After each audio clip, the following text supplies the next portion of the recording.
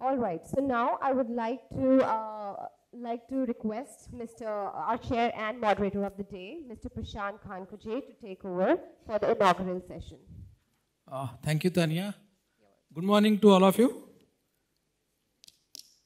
Uh, as rightly said by Tanya, uh, सूरज की पहली किरण आशा लेके आती है दूसरी किरण कुछ और उम्मीद ही लेके आती है लेकिन सूरज की जब uh, बहुत सारी किरणें हो जाती है तो जलने भी लगता है Let us uh, not waste uh, further time and we start immediately. It is very interesting session, inaugural session. We have uh, both sides of the table available on the dais.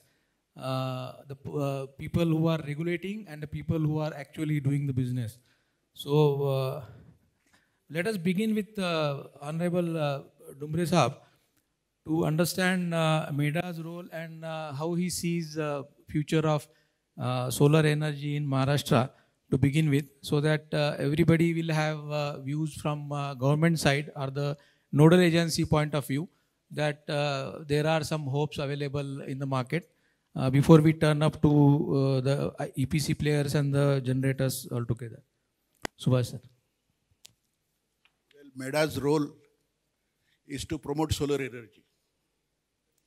And as far as I am concerned, I am very new to this whole scenario. I've just joined a month back.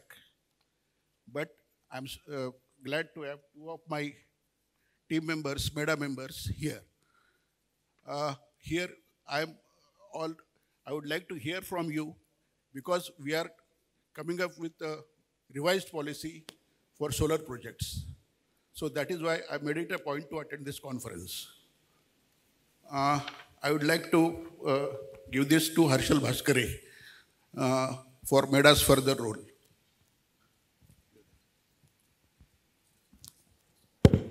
Good morning, everyone.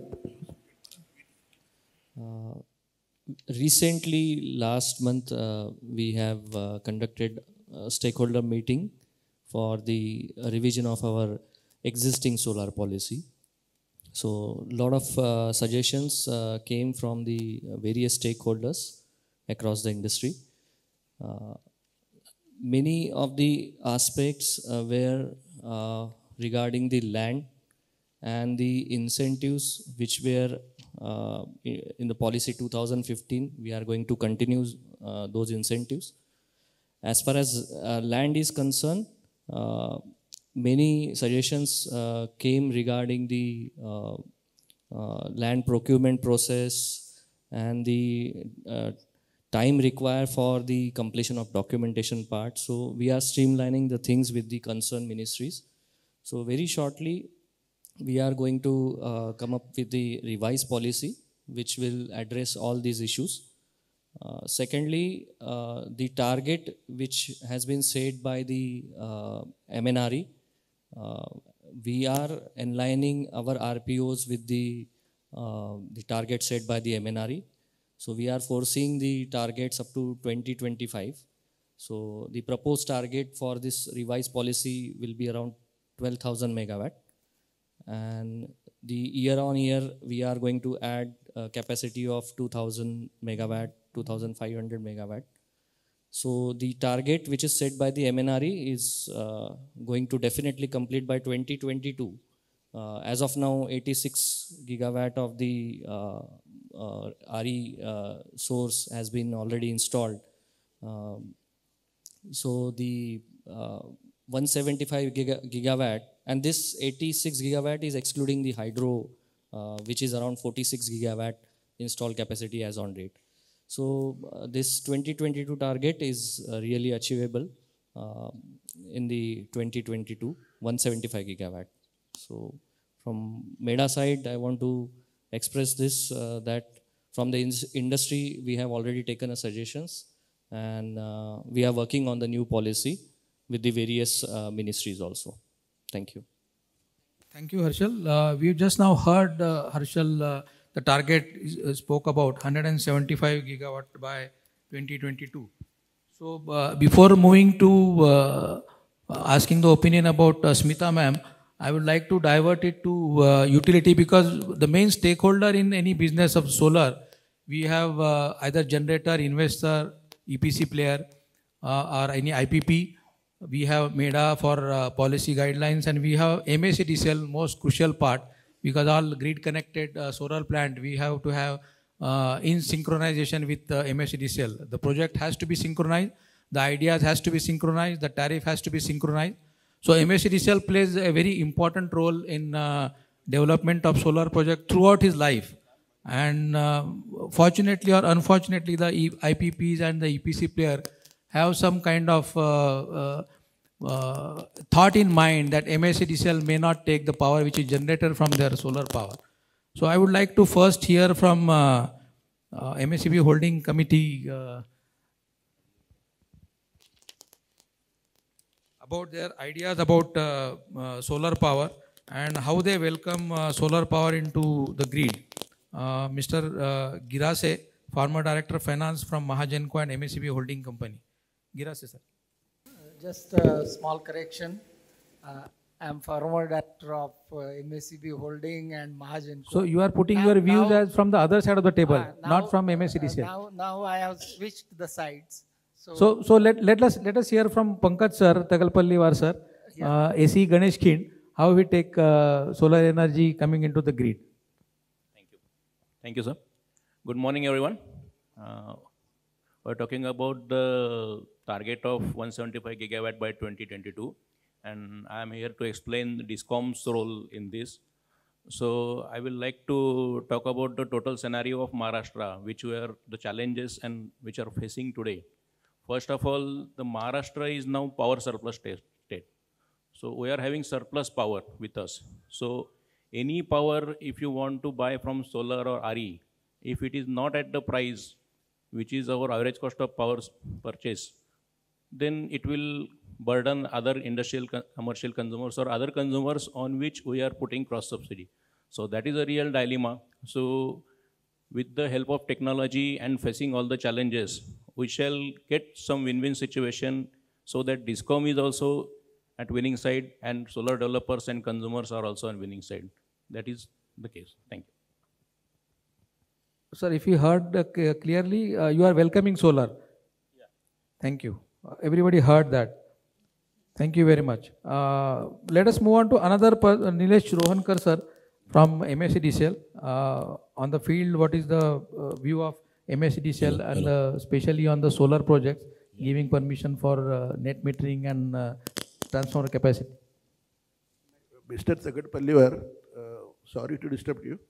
Uh, you- Your power surplus, that is correct. As far as your RPO obligations are concerned, you are not surplus in that. That has to be admitted also. Huh? As far as solar is concerned, you are not surplus in that. Yes, sir. Good morning. Uh, As per our uh, Dagadpallivar sir, what he has said that we are actually on the surplus position. So what I will like to suggest over here that no doubt uh, there is a lot of surplus position of generation. But regarding uh, cross subsidizing component, always it has been told that MSEDCL is neglecting or having resistance for net metering and solar and all that.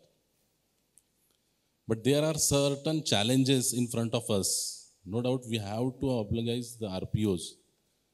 But at present, the cross subsidy surcharge is not adequate to neutralize subsidy.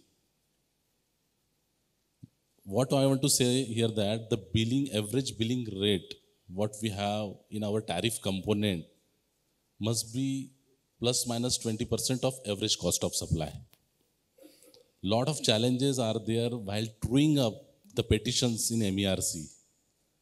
No doubt we are trying our level best. Mahavitran is doing level best to improve their operational and financial efficiencies. But then also there are certain pockets in Maharashtra where we have to handle the situations where the losses and the recoveries are very huge. Then also in the coming two or three days, Mahavitran being an implementing agency for rooftop agencies, is going to introduce GCRT portal. And as per MNRE guidelines, in the coming two or three days, 25 megawatts of GCRT portal is going to be started. And accordingly, the uh, what we can say subsidies will be allotted.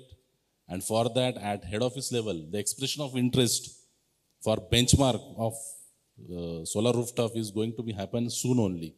Let's hope the target of 175 gigawatts at present at India level we have gained 85 and out of 85 we have gained at uh, country level 35 for solar and out of solar 35 for rooftop is only 4.5 to 5 gigawatts and from Maharashtra point of view Mahavitran has given more than 400 megawatts of solar rooftop connections net metering. It is one of the huge megawatt release at India level. So I will say over here that we are doing our level best to promote renewables. Thank you. Thank you, sir. Uh, Thank you, Ronkar sir. Uh, Now we have heard there is a target from central government, uh, there is a target from MEDA also, there is a MSCDC is also welcoming solar to be connected in the grid. Uh, But I would like to ask uh, Smita ma'am from MEDA, uh, MNRE, CERC and central government, MERC, Maharashtra government, MSEDCL and MEDA. Is there any uh, good handshake or everybody is hiding something to achieve this target? I would like to have a uh, blunt uh, answer from you, whether we, it is only talking in air or actually it is being done and seen for everyone. See, um, a very warm morning to uh, everyone here. Although the question you have asked me is something, you know, I cannot answer bluntly. Being in the chair of MEDA somewhere, bl- answering this bluntly at EQ Magazine's platform ask- won't be wise enough. No, no. What I'll tell you, she is originally. She is originally belongs to MSETCL. She is on deputation to MEDA. Keeping that in mind, I think. For that matter, uh, if it comes to whatever has been committed by ministry, um, I mean MNRE, be it uh, CERC, MERC, or uh, utility scales at the state level, or we would say the uh, state nodal agencies like MEDA who had been working into renewable, it's never things that have flown in air for sure. Because uh, what do we see? Uh, I mean, since if we go back down the line, 1973 or somewhere around in 70s, what was the share of renewable? Have we ever checked on? I mean, uh, whatever was the electricity consumption, 50% of the share was by renewable energy. Eventually, our requirements have switched it on. I mean, uh, we have switched to thermal power for sure for, in that case. But then if we go down the line with the UNFSS, uh, uh, UNFCC's contributions towards, you know, CO2 emission reduction and all, we can see the eventual growth that has happened in this nation level. So it is no way uh, said and done that government has been talking in air and nothing has happened on ground. We see around uh, 84, uh, I mean 86 gigawatt of uh, solar power installed throughout the nation. If had it been in the case of air, we couldn't have seen this on ground for sure. No, ma'am, for air we need because for wind projects are only on air. So we we need something on air. But uh, uh, thank you very much. Uh, you have said a very positive note. Now let us move to other side of the table. I'll ask Gaurav whether the same kind of Asha ki kirne coming from central government are actually being implemented and you can see on the field. And what is your say on that? Hello. Uh, morning, everyone. Um, so very quick, uh, Sprng Energy is an IPP. We started three years back. We have a capacity of around 1.75 gigawatts, 800 wind and uh, remaining solar, out of which around 650 megawatt is operational as of date. So we have, uh, although we are based in Pune, I was just discussing that we have not participated in any Maharashtra-based tenders, and we are in the utility scale space. We are not in the rooftop space. Um, uh, I'll, I'll come to Maharashtra later on. First, at a at a overall uh, MNRE level, the government has set up a large target. Uh, they are trying to facilitate the best they can do, but the challenges are a lot. We know the industry has responded very well. Uh, there has been a lot of competition, which has seen the tariffs coming to very low levels. Uh, but uh, the risks which are associated in implementation are humongous. Today, regulatory risks have become much more as compared to execution risks. Uh, first of all, uh, once you win a tender, uh, the biggest challenge we have been facing as IPPs is the tariff adoption um, and the power procurement approval. So tariff adoption now MNRE has segregated. Uh, it has moved to CRC for all the SECI NTPC projects, but the power procurement um, is, is still goes to an SERC, which takes a lot of time and is is challenging. Also, a lot of SERCs have today started challenging the trading margin of which is around seven paisa being taken by CRC and uh, um, and and uh, sorry taken by the SECI or NTPC. So, so uh, there are a lot of delays in this regulatory approval. Uh, second, of course, evacuation is always a challenge uh, when it comes to connecting at ISTS level. Uh, you need to have uh, uh, getting you have to take grid connectivity from PGCIL and then apply for LTAs, which you may or may not get at the desired substation. Third, when it comes to execution on the ground, whether it is la land acquisition, we go to any state is always challenging.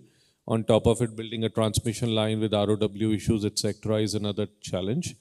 Uh, fourth, uh, in terms of financing, today liquidity is a big concern.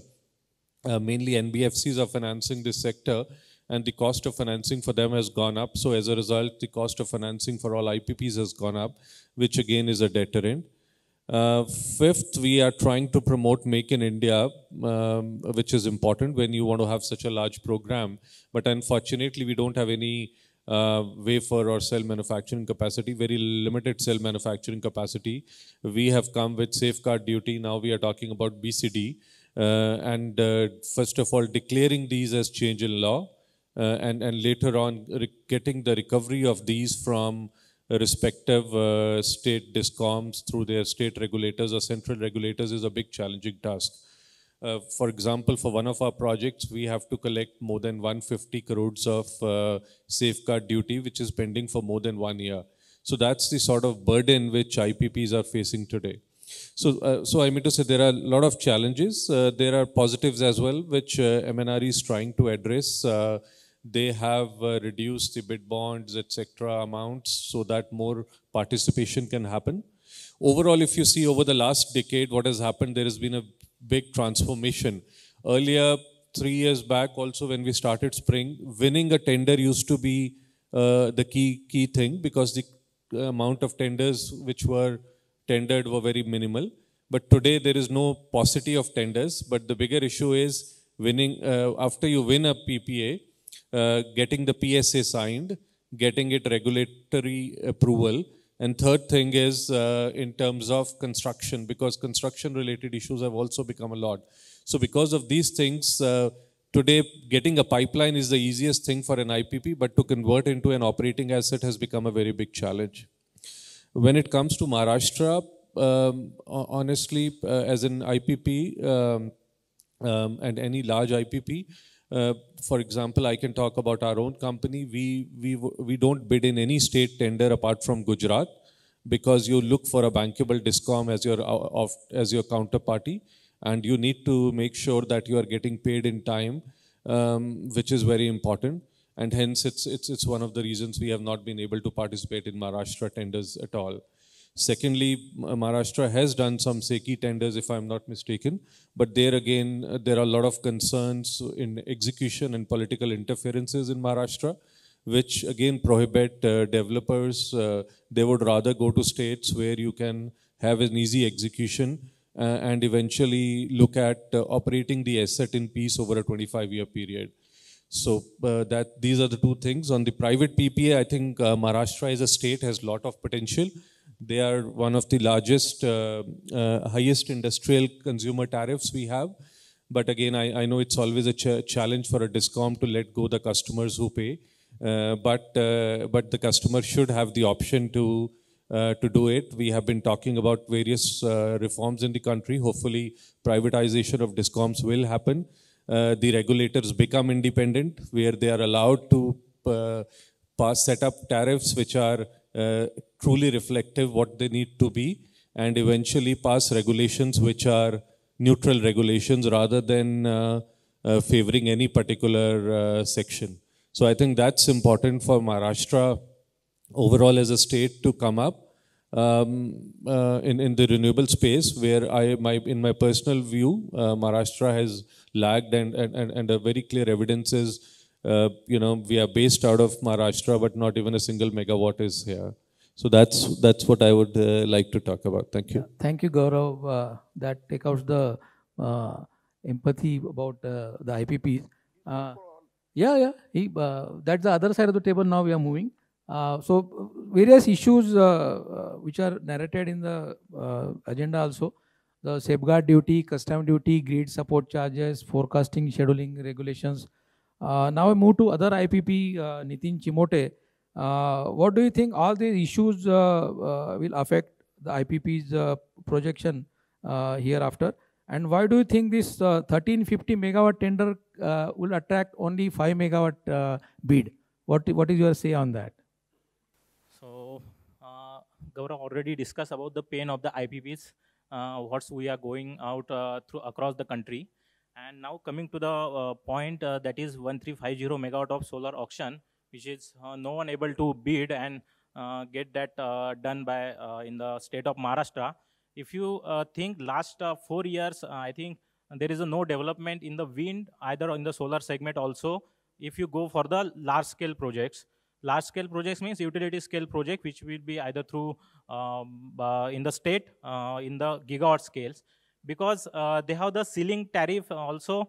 Uh, uh, ceiling ta- uh, they have decided the ceiling tariff, and if you decided the ceiling tariff, no one able to bid at that price. So that ceiling ta- uh, tariff criteria should be removed from this from the bid. So because player having the one location, suppose considering the wind having the different wind zones, if you have the setup uh, project at the one location having the higher cost than that ceiling tariff also. So if you decide that ceiling tariff, then no one able to bid. That may be the one of the reason. And then coming to the uh, main pains uh, that uh, with the in, within the state we are not able to recover what we are in, invested because uh, uh, because of the delay in the payments, uh, getting the approvals. So all things they are keeping on the developer side. So getting the approval itself is the very big challenge. So I think in the policy constraint, uh, policy is good. MEDA is doing the good uh, job in the uh, state, and in the central level, I am also uh, in the um, uh, in the favor of uh, central government. They are having the good policies, but policy having the one statement having the three different meanings, and that will become become the hurdle for for the big projects also and small projects also. And getting approval, they know the what are the challenges they have faced in the last 15 years so first of all, uh, rather than getting uh, into the uh, getting into the larger scale bid, first uh, uh, first just clear that previous problem and uh, show the uh, way out how we can solve that problem in the uh, new policy. So that will be the uh, my thought in particular this case. Thank you, Nitin. Uh, let us hear from Prakash uh, Morankar about uh, his pain. Okay, thanks, Prashant. So, okay, uh, first I would like to uh, say a few words about ENGIE because I don't know whether uh, everybody is aware of ENGIE. Uh, so, ENGIE is the largest uh, power company globally. We have about 100, uh, more than 100 gigawatt in operation globally. Now in, in India, we have 1.5 uh, gigawatt of renewables, out of which uh, 1 gigawatt is in operation for solar and uh, about 500 uh, megawatt uh, for wind. Uh, that's about the ENGIE portfolio here in uh, India.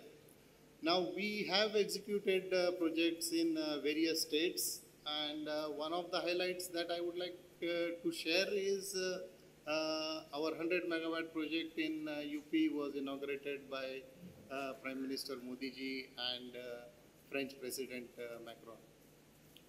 Uh, we have been actively uh, participating in uh, various renewable projects uh, within India and uh, globally, and also very active in uh, ISA and so on.